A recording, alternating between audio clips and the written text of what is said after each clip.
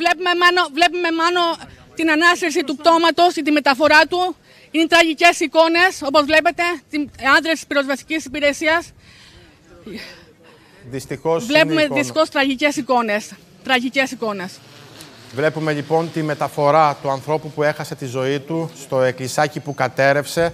Είναι συγκλονιστικές ε, στιγμές, εκτελούσε εργασίες την ώρα της δουλειάς του, τον πρόλαβε ο σεισμός και δυστυχώς ε, έκοψε το νήμα της ζωής του. Είναι εικόνες που πραγματικά θλίβουν, που βυθίζουν στο πένθος ολόκληρη την Κρήτη. Δυστυχώς έχουμε να δούμε πάρα πολλές δεκαετίες θύματα από σεισμική δραστηριότητα και είναι απευθείας εικόνα της Κρήτη TV από το σημείο του προφήτη Ηλίας στο Αρκαλοχώρι. Δυστυχώς, Μάνο. Δυστυχώς, τραγικές εικόνες.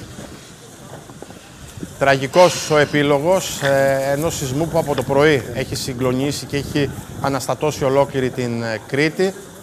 Βλέπουμε τα σωστικά συνεργεία της πυροσβεστικής υπηρεσίας να μεταφέρουν το πτώμα του άτυχου άντρα, ο οποίος δούλευε και ο σεισμός τον πρόλαβε και δυστυχώς του έκοψε το νήμα της ζωής. Πραγματικά εικόνες που σοκάρουν, που θλίβουν.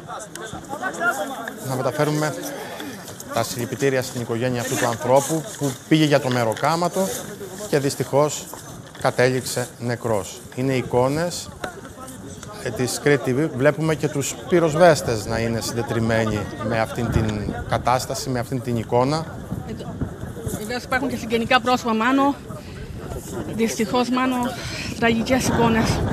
Είναι πολύ βαρύ το κλίμα, το βλέπουμε στα πρόσωπα των ανθρώπων, το βλέπουμε στα πρόσωπα των πυροσβεστών.